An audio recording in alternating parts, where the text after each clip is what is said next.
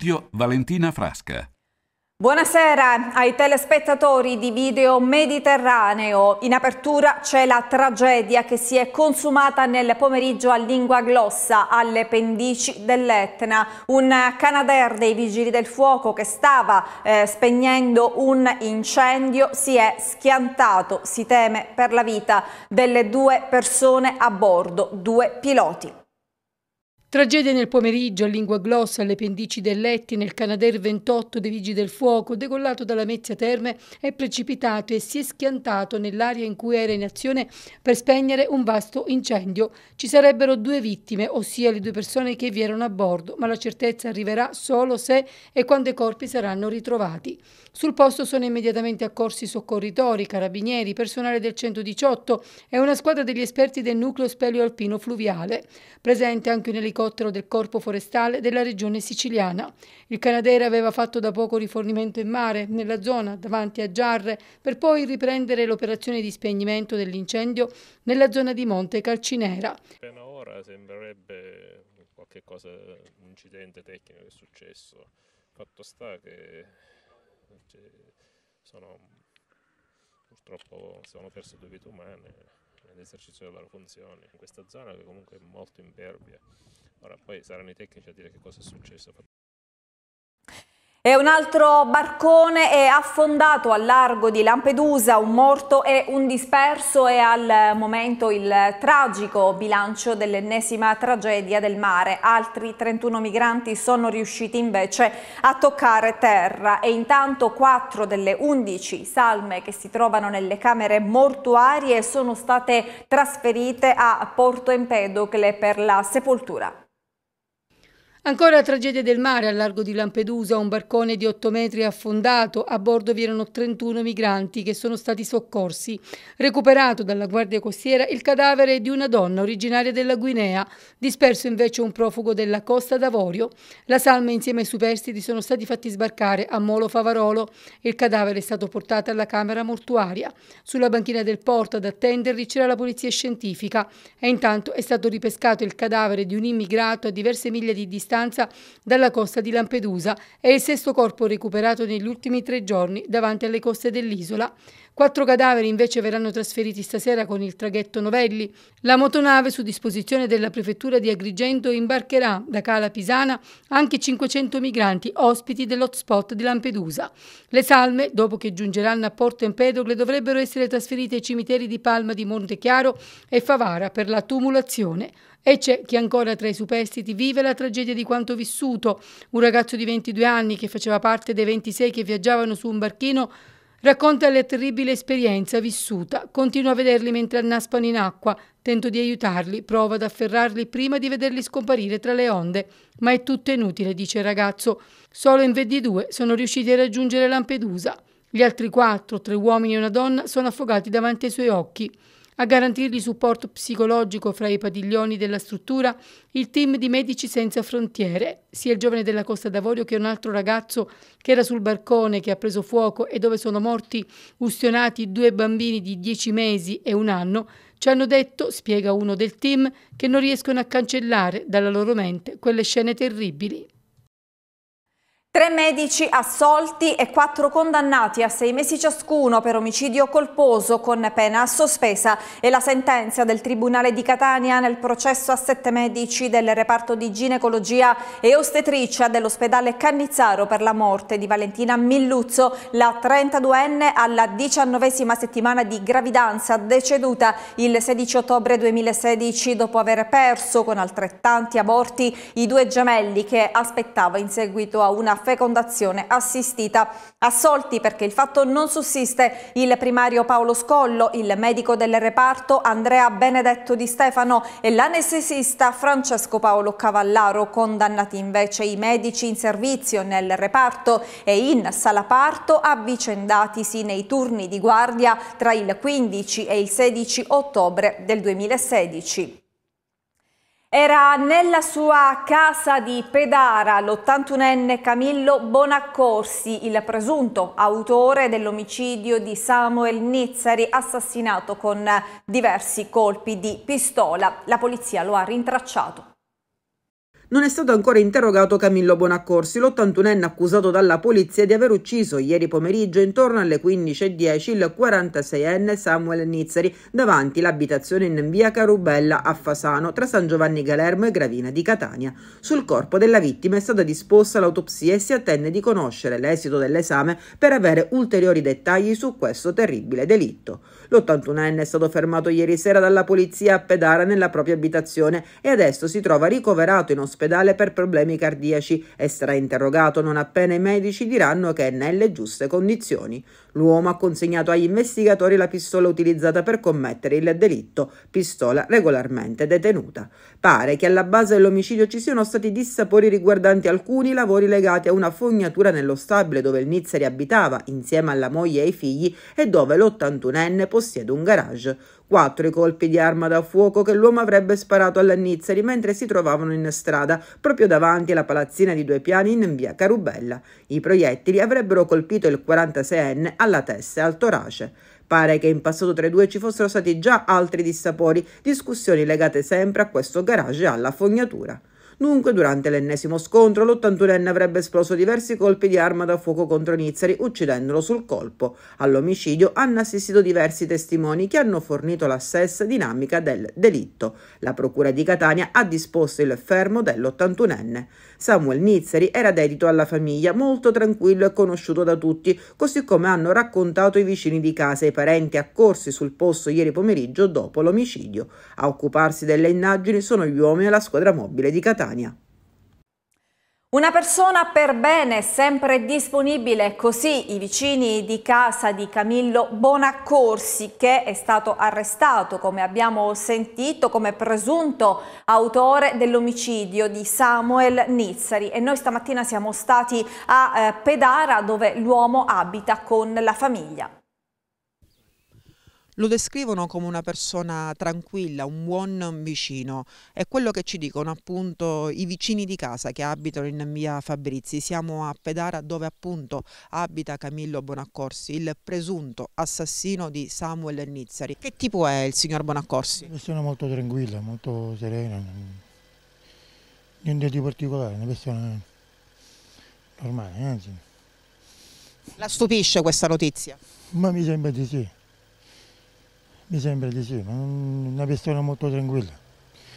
Da tantissimi anni che la conosciamo non ha mai avuto, almeno qua nella nostra zona non abbiamo avuto mai di questi approcci con lui. Una persona abbastanza tranquilla, ve la credo, non, cioè, sono sconvolto di quello che mi dite. Un buonissimo vicino perché due villette dopo la mia. No, no, no, non è possibile. No, sono una famiglia fantastica, i figli, la moglie. Stragi del 92, chiesta la conferma dell'ergastolo per Matteo Messina Denaro. Il procuratore generale Antonio Patti oggi ha ripreso la requisitoria nel processo che si celebra in Corte d'Assise d'Appello a Caltanissetta. L'accusa che si muove a Messina Denaro, ha detto nell'udienza, è di avere deliberato le stragi, dunque non è l'esecutore ma il mandante. Il procuratore generale di Caltanissetta Antonino Patti ha chiesto l'ergastolo per Matteo Messina Denaro. Chiedo che questa corte confermi la sentenza di primo grado per le stragi di Capaci e di Via D'Amelio. Così al termine della sua requisitoria del processo che si celebra in corte d'assise d'appello a Caltanissetta per Matteo Messina Denaro, accusato di essere il mandante delle stragi del 92. Il riferimento è alla cosiddetta missione romana, quando fu un comando nel febbraio febbraio del 92 a partire dalla Sicilia per eh, la capitale per eliminare Giovanni Falcone e Maurizio Costanzo. Falcone era uno dei pochi soggetti, continua Patti, che se in quel momento storico avesse subito del male, qualsiasi investigatore, anche il meno esperto, avrebbe puntato l'attenzione su Cosa Nostra. Si parla di totale superficialità e inadeguatezza di Rina nell'organizzare la missione romana e che ha fatto affidamento a persone non tutte di rilevante calibro mafioso ma ci aveva mandato le persone più importanti, come Giuseppe Graviano, che è un capomandamento, così come Matteo Messina Denaro. E non è affatto vero, poi, che nel sestetto romano c'era gente che non sapeva mettere mano sugli esplosivi. Rina, aggiunge Patti, a Falcone lo avrebbe ucciso ovunque, anche sulla Luna. Lo dice lui stesso in un'intercettazione. In primo grado Matteo Messina Denaro è stato condannato all'ergastolo. L'accusa che si muove a Matteo Messina Denaro, ha detto nell'udienza scorsa il procuratore Patti, è di aver deliberato insieme ad altri mafiosi regionali che rivestivano uguale carica le stragi. Quindi ci occupiamo di un mandante, non di un esecutore, ha specificato Patti. Arrestato un corriere della droga, si tratta di un romano residente a Trecastagni, aveva in suo possesso oltre 20 kg di sostanze stupefacenti del valore di circa 165 mila euro. 12 kg e mezzo di hashish circa e 8 kg e mezzo di marijuana. Questo quanto sequestrato dalle fiamme gialle del comando provinciale di Catania, un'operazione portata a termine dalla Guardia di Finanza con la collaborazione di unità cinofile della compagnia Pronto Impiego. La droga, che aveva un valore di mercato di oltre 165.000 euro, era nascosta nel vano porta attrezzi del rimorchio di un tir. Il camionista Corriere, un romano residente a Trecastagni, è stato fermato ed è ancora in carcere. Il provvedimento restrittivo emesso dalla Procura distrettuale di Catania è stato convalidato dal GIP. È stata la reazione nervosa dell'autista che ha convinto a effettuare una perquisizione. Rinvenuto nell'autocarro, ben nascosto nel porta attrezzi del rimorchio il quantitativo della sostanza stupefacente del valore di oltre 165.000 euro se immessa sul mercato. Si presuppone che fosse destinata alle piazze di spaccio etnee.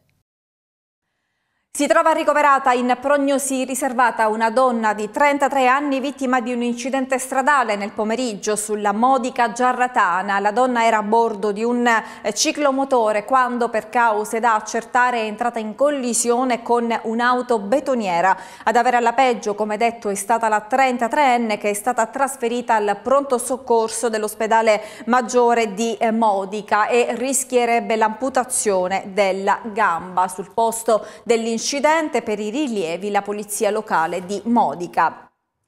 A Reggio Calabria è stata smantellata una rete di narcos calabresi, 200 i militari del Comando Provinciale della Guardia di Finanza che hanno eseguito con il supporto di altri reparti del corpo anche nelle province di Catania e di Messina 24 misure cautelari, sono quattro in tutto le regioni coinvolte.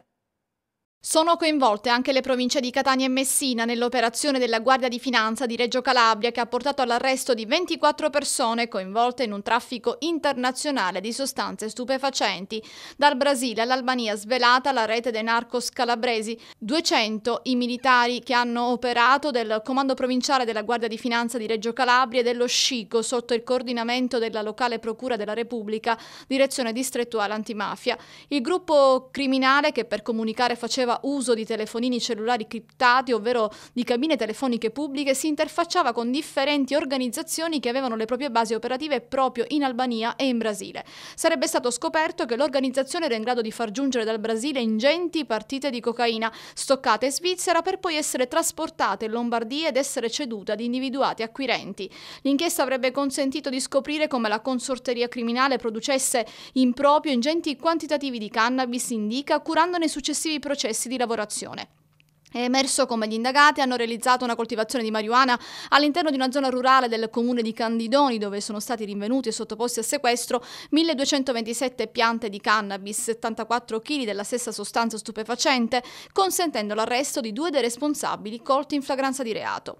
La compagine criminale gestiva una consolidata attività di smistamento dello stupefacente attraverso l'impiego di corrieri pronti a rifornire molteplici piazze di spaccio, fungendo da spola tra il territorio calabrese e quello siciliano. È stato arrestato in flagranza di reato un affiliato in procinto di imbarcarsi per la Sicilia. Un fermo e tre denunce è il bilancio dell'operazione portata a termine dalla polizia che ha sequestrato oltre 5.000 kg di esplosivi. Oltre 5.000 kg di botti su tir sequestrati dalla polizia centro ordigni esplosivi per un peso complessivo di oltre 5.000 kg sono stati sequestrati dalla polizia nell'ambito di un'inchiesta della Procura distrettuale di Catania contro il commercio abusivo di artifici pirotecnici. I botti sequestrati erano del peso di 230 grammi al pezzo ed erano su un tir che è stato bloccato nella zona commerciale di Valcorrente Belpasso dalla squadra amministrativa della Questura in collaborazione con il nucleo artificieri della polizia polizia. La procura ha disposto il fermo dell'autista del mezzo, un 39enne. È stato denunciato in stato di libertà altre tre persone. Il materiale sequestrato era privo di qualsiasi etichettatura o segno di riconoscimento e stava per essere trasferito dal tir a un furgone parcheggiati davanti l'ingresso di un ristorante cinese. Dalle prime indagini i botti in minima parte erano destinati a ditte autorizzate di Zafferana, Giar e Belpasso. Gli inquirenti ritengono che per eludere il divieto a percorrere le strade dei centri abitati per il tipo di carico, il mezzo veniva allocato per le consegne presso parcheggi di centri commerciali o autorimesse con la connivenza degli acquirenti disposti ad accettare appuntamenti dell'ultimo minuto e in violazione delle prescrizioni delle rispettive licenze amministrative. Il 39enne è stato condotto in carcere, il GIP ha convalidato il provvedimento restrittivo e il sequestro. Il 39enne è nel carcere di Piazza Lanza a Catania. La Sicilia è al nono posto per contagi da Covid-19 e quanto emerge dal bollettino odierno del Ministero della Salute in riferimento alle ultime 24 ore che ci dice anche che i nuovi casi sono 1331. Leggero calo nei contagi in Sicilia nelle 24 ore rispetto a ieri sono 200 in meno i nuovi positivi. Ad oggi si contano 1331 casi che portano il tasso di positività al 9,1%. La Sicilia è al nono posto per contagi. In Italia gli attuali positivi sono 19.980, i nuovi guariti sono 1.176, due i morti. Sul fronte ospedaliero i ricoverati sono 312 mentre in terapia intensiva sono 18. A livello provinciale si registrano Palermo Palermo 338 casi, Catania 257, Messina 152, Siracusa 171, Trapani 166, Ragusa 82, Caltanissetta 50, Agrigento 68 ed Enna 47. Intanto sulla campagna vaccinale relativa alla settimana dal 19 al 25 ottobre, secondo il bollettino da Zoe nel target 5-11 anni, i vaccinati con almeno una dose si attestano al 25%, hanno completato il ciclo primario di vaccinazione il 21% 10% dei bambini del target regionale. Gli over 12 vaccinati con almeno una dose sono il 90%, mentre la percentuale di chi ha completato il ciclo primario è dell'89%. I vaccinati con terza dose il 72% degli aventi diritto.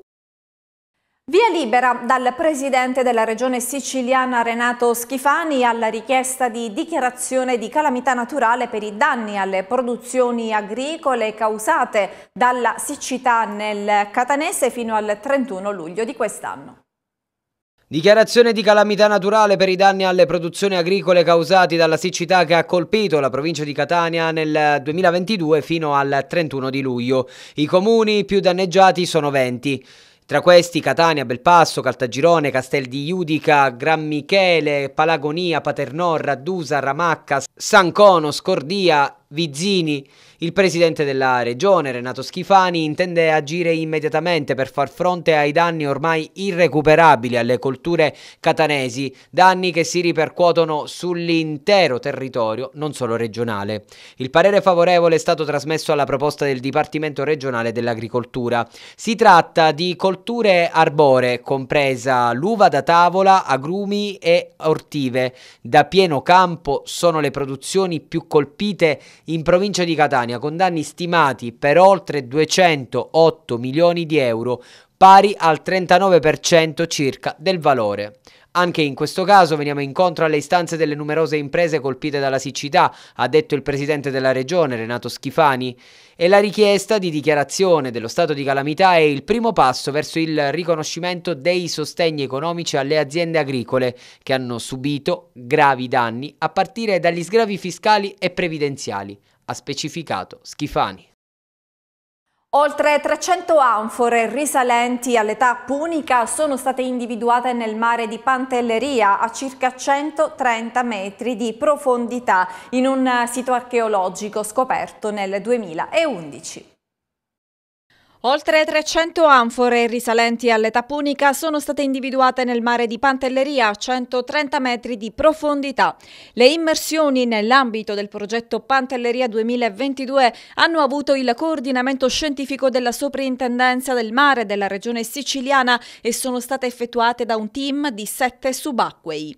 Il sito archeologico era stato individuato per la prima volta nel 2011, ma solo adesso ci si rende conto dei tesori che effettivamente nasconde, grazie alla possibilità di documentare con immagini fotografiche e video la grande concentrazione di anfore puniche. Siamo solo all'inizio di una campagna di rilievo e documentazione, dichiara il soprintendente del mare Ferdinando Maurici, che certamente svelerà importanti tracce del passato. Continueremo lo studio di questo interessante e difficile sito subacqueo, vista la notevole profondità, grazie alla collaborazione dei professionisti che in questi anni ci hanno consentito di raggiungere eccellenti risultati nello studio della battaglia delle Egadi. Nel corso delle immersioni è stata realizzata realizzata in particolare una fotogrammetria tridimensionale ad alta risoluzione attualmente in fase di elaborazione che consentirà di studiare la consistenza totale del sito archeologico e la tipologia delle anfore che da una prima analisi delle immagini sembrano appartenere a cinque tipologie, tutte di epoca punica. La maggior parte si presenta in buono stato e da una stima iniziale meno di un terzo appare fratturato. Qualche minuto di pubblicità adesso per noi, torniamo tra poco con altre notizie. Bentrovati in studio, seconda parte di MTG, parliamo della prevenzione delle devianze giovanili, questo infatti è lo scopo di eh, due protocolli d'intesa e dei tre tavoli tematici che sono stati voluti dall'Osservatorio per la prevenzione dei fenomeni di devianza minorile che si è riunito oggi a Catania. Due nuovi protocolli d'intesa sono stati sottoscritti durante una nuova riunione all'Osservatorio per la prevenzione dei fenomeni di devianza giovanile nell'area metropolitana di Catania. Lo scopo è di tutelare i minori dando loro concrete possibilità per il futuro. Con il primo in particolare è stata formalizzata un'intesa per assicurare la piena attuazione delle funzioni di tutela dei minori destinatari di provvedimenti giudiziari civili e penali, inclusi quelli riguardanti minori vittime di abusi sessuali o maltrattamenti intrafamiliari. Con il secondo protocollo verrà avviato il progetto CHAC, un processo processo simulato per evitare un vero processo. Nel corso della riunione sono stati anche costituiti tre tavoli tematici. Uno che riguarda le azioni contro la dispersione già avviate e che continueremo, l'altro i fondi del PNNR destinati alla rigenerazione urbana e il terzo sulla sicurezza urbana e quindi sull'attività da mettere in campo. Un ruolo fondamentale, come emerso questa mattina, verrà giocato dall'ASP che con un'equipe multidisciplinare prenderà in carico il minore gruppi di neuropsichiatri, psicologi, assistenti sociali che lavorano insieme producono una relazione unica a grande vantaggio degli organi giurisdizionali che non devono più chiedere ai vari nostri uffici, avranno una relazione unica firmata da tutti i professionisti con grande semplificazione delle procedure. Queste equip sono già partite in via sperimentale per il Tribunale per i minorenni, oggi col protocollo saranno estese anche ai tribunali e alle procure ordinarie e, e, i risultati già parziali che abbiamo già conseguito sono veramente molto molto incoraggianti. Io devo dire che incidere mh, su questo segmento che è quello minorile significa eh, eh, quindi mh, dare un, un, incentivo importante al progresso di questa società, al, alla sicurezza ma soprattutto allo sviluppo economico, sociale e culturale. E parliamo adesso della vendemmia, sembra davvero un'ottima annata per la Sicilia. 100 giorni di raccolto, una vendemmia da record nell'isola. È giunta al termine in Sicilia la vendemmia più lunga d'Italia, appunto 100 giorni di raccolta iniziata nella parte occidentale dell'isola tra la fine di luglio e la prima decade di agosto e si è conclusa a fine ottobre nei vigneti dell'Etna. Le premesse per ricordare in Sicilia l'annata 2022 come un'annata eccellente ci sono tutte. Uva sana dal punto di vista fitosanitario e in perfetto equilibrio acido zuccherino, ottime sensazioni organolettiche, grande qualità con bianchi freschi ed equilibrati e rossi che lasciano presagire strutture e complessità importanti. La congiuntura climatica si è rivelata favorevole per l'intero ciclo vegetativo e determinante per la qualità delle uve. Un autunno piovoso, seguito da un inverno con minori precipitazioni e una fredda primavera. Le alte temperature e la siccità dell'estate siciliana hanno inibito la diffusione delle malattie della vite e inciso solo in alcuni casi sul calo della produzione per circa il 5-10%.